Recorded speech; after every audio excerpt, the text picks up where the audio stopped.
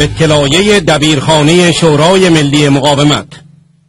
جلسات چهار روزه مجلس ملایان نمایانگر بحران مرگبار و جنگ قدرت فزاینده در رژیم آخوندی.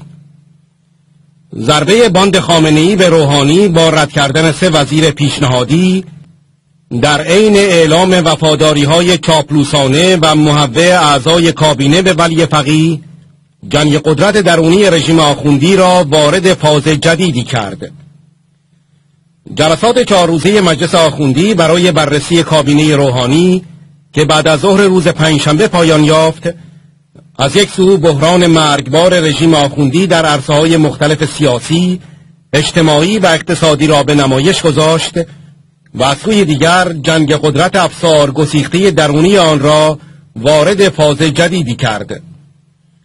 حسب سه وزیر پیشنهادی برای وزارت آموزش و پرورش، وزارت علوم و وزارت ورزش و جوانان در حالی است که همه وزیران پیشنهادی از جمله همین سه نفر در سه دهه گذشته بیشترین نقش را در جنگ سرکوب و صدور تروریسم و بنیادگرایی داشتند و هیچ کس خارج از کارگزاران رژیم آخوندی در سی و چهار سال گذشته در آنها دیده نمی شود.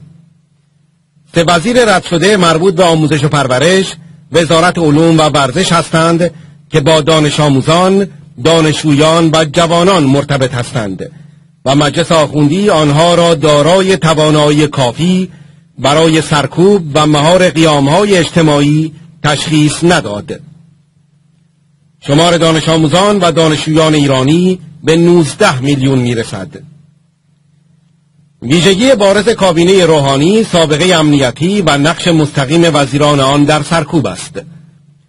روحانی امنیتی بودن کابینش را مایه افتخار دانست.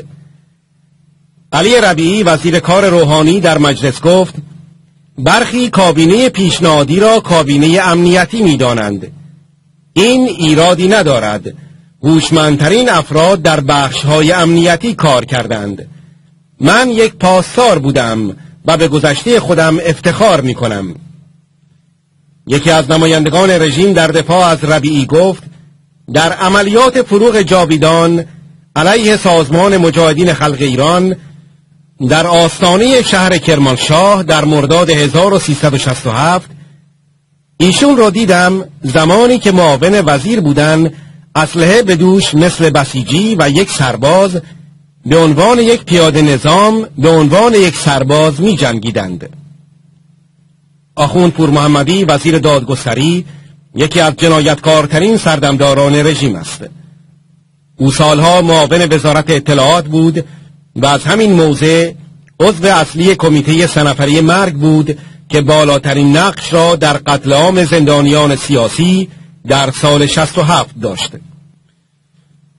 حسین دهخان وزیر دفاع روحانی از جمله دانشجویان خط امام بوده است که سفارت آمریکا در تهران را در روز 13 آبان 1358 اشغال نمودند و دیپلمات های آمریکایی را 444 روز به گروگان گرفتند.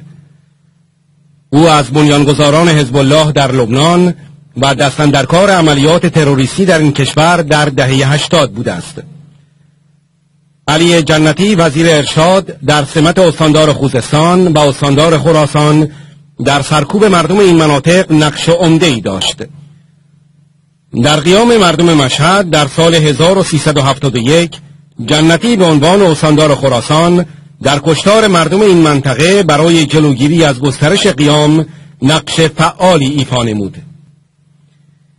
یکی از نمایندگان باند خامنه ای گفت یک ملاک اساسی من در موافقت با این کابینه استواری رئیس جمهور و دولت بر دفاع کامل و قاطع از حقوق هسته‌ای ملت ایران است. وزیر پیشنهادی امور خارجه نیز در ملاقات با این جانب تصریح کردند که ذره از حقوق و منافع ملت ایران در عرصه جهانی کوتاه نخواهد آمد. اما با اتخاذ تدابیر معقول و منطقی و به دست آوردن حد اکثر منافع و با کاستن از هزینه های غیر ضروری مجری سیاست های خارجی نظام و رهبری خواهد بود. ظریف به مجلس گفت حقوق مسلم مردم ایران را در زمینه هسته‌ای پیگیری خواهد کرد و ذره ای از حقوق این ملت کوتاه نخواهد آمد. سیاست خارجی باید ملی، فراجناهی و بر اساس قانون اساسی تحت نظارت مستقیم مقام رهبری عالی باشد تا از دعواهای جناهی و درگیریهای داخلی به دور باشد. اسحاق جهانگیری بنول روحانی در دفاع از کابینه گفت روحانی با وزرا شرط کرده که به ولایت فقیه التزام عملی داشته باشند. بر اساس منشور رئیس جمهور در تمام تصمیمات سیاست های کلی ابلاغ شده توسط رهبری را به عنوان اولویت خود در نظر خواهد گرفت.